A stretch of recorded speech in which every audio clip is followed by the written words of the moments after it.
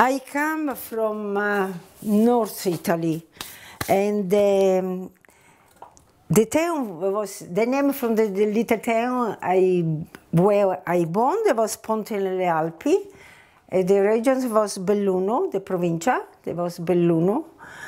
Um, beautiful town with the mountains and beautiful fresh air. There was. Uh, uh, that was beautiful because where you born, you can't forget. I come in this country in 1954. I, Guinada, my sister, before us there was here two brothers, Charlie and Johnny. They already passed away. When they arrived, there was very difficulty because for my English and uh, easy to to have a job because the first thing they ask you, they ask, you speak English? And we said yes, yes, yes, because we need the money, we have to live.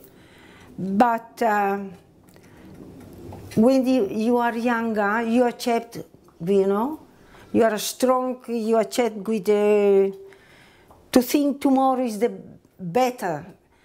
And uh, that was very hard, but in the end, I have good time too, because with the family, my husband, uh, we enjoy.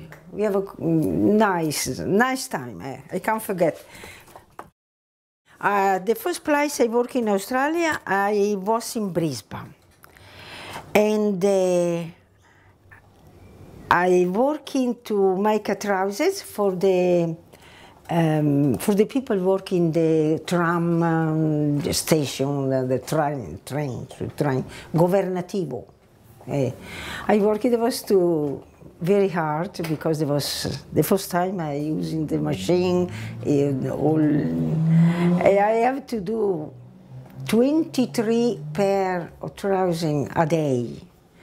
And uh, I do, but my sister, it was impossible impossible because she, she don't have um, experience, you know, have and uh, I have to help her, and, and we working only for three months, and after, and, and after they, they, they said they they said we don't have any more job for you, you come si dice sec? We are sick. and it was terrible, you know. And after one year, after one year, I married my husband. He married. We don't have money to buy the house, nothing. But slowly, slowly, working hard both of we build the house. Before we buy the block, the land, and after we build the house in Blacktown. After one year, I have my first son, Bortolo. And after 50 months, they come the second one. Imagine, you know, build a house, family, and this and that. It was very tough time. And my husband working seven days a week, full time.